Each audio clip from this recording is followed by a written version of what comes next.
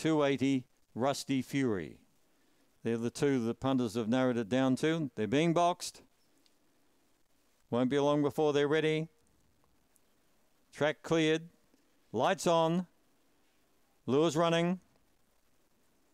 They're off. In the way very fast was Emily Drummer going quickly. Rusty Fury, the two favourites already in front of Just Kenny. Right down the outside, Acker Jets putting in a good run and well back Abby Garado. Over on the inside, Emily Drummer is the leader by a couple of lengths. From on the outside, Rusty Fury. Emily Drummer, Rusty Fury. Third, Just Kenny just in front of Acker Jet.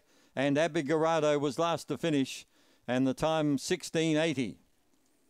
Favourite wins. The one they backed has got up. Emily Drummer for Kel Douglas. Had a couple in the race. And uh, Emily Drummer was quickly away.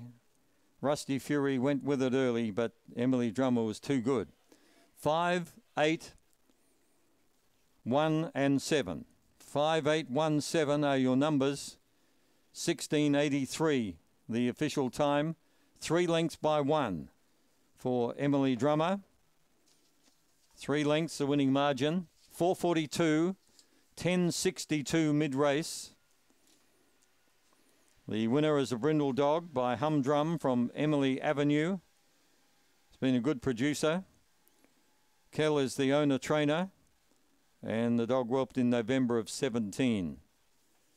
5817 on the third race out of Murray Bridge. The run home there was 623 just a fraction slower than the previous race. The Metro Roller Doors non-penalty for greyhounds with five plus wins is next up. And uh, the favourite is Cuddles Lee. Been in good form. Uh, one up the straight three starts ago. Uh, it's at 250.